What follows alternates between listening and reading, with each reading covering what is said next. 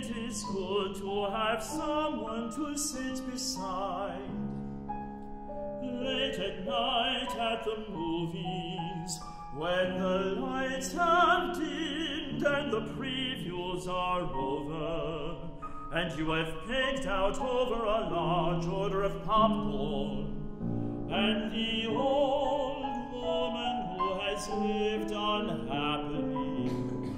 for twenty-one years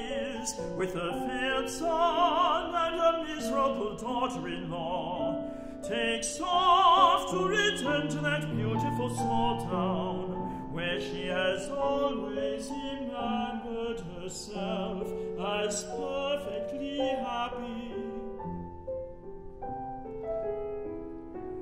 Only to find that her one friend, the town's last citizen, died that very morning, and that when she returns to the beautiful house that has remained unaltered in the scrapbook of her wishfulness, it is a mere ghost of what it once was. The curtains rotted against the sashes, the wood frame sagging like an scarecrow, the neighbors' houses all abandoned by death, I storms, the vicissitudes of profit. Yes, it is good not to be alone at times like these, when the woman sitting beside you this very morning seemed merely a burden, sent small sobs wafting like pollen into the theatre, and squeezes your hand and says, It's so sad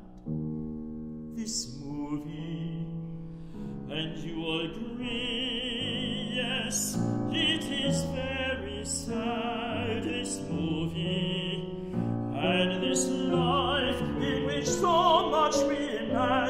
as inalterable will be taken from us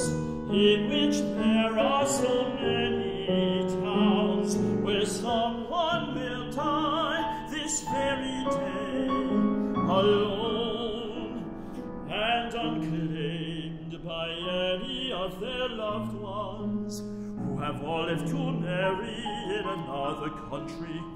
or find their fortunes in some grief-stricken Houston, which is why it is good to be here, even just tonight, in this dimly lit theater with a gold woman and the scent of popcorn and a wide bed you can climb into again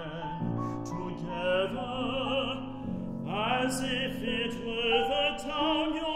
originally came from and you could always go back to it as if no one could ever die in the dark alone, not even you.